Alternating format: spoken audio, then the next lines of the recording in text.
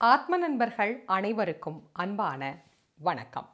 அங்கிங்கெனாதபடி எங்கும் பிரகாசமாய் ஆனந்த பூர்த்தியாய் அருளோடு நிறைந்திருக்கக்கூடிய இறைவனை நாம் ஆலயங்கள் தோறும் சென்று வழிபடுதல் என்பது நம்முடைய முன்னோர்கள் நமக்கு கற்றுத்தந்த ஒரு சிறப்பான வழிபாட்டு முறையாகும். அதனால்தான் ஆலயம் தொழுவது சாலவும் நன்று என்று நமக்கு சொல்லி சென்றிருக்கின்றார்கள். அந்த வகையில் தலங்கள் தோறும் சென்று தீர்த்த யாத்திரை மேற்கொள்ளுதல் என்பது மிகவும் புண்ணியமான ஓர் வழிபாடாகும்.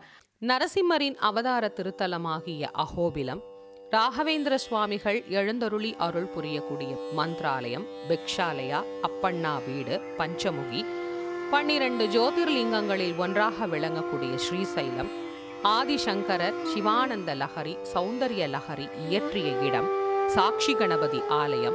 ஐம்பத்தி ஓரு சக்தி பீடங்களில் ஒன்றாக விளங்கக்கூடிய பிரம்மரம்பா மற்றும் ஜொகுலாம்பாவினுடைய தரிசனம் நவபிரம்மாவினுடைய ஆலயம் மகாநந்தி ஆலயம் ஒண்டிமிட்டாவில் அமைந்துள்ள கோதண்டராம சுவாமியினுடைய ஆலயம். இப்படி பல ஆலயங்களுக்கு சென்று அன்பர்களோடு வழிபட்ட புகைப்படங்களின் தொகுப்பு இதோ சில உங்கள் பார்வைக்கு.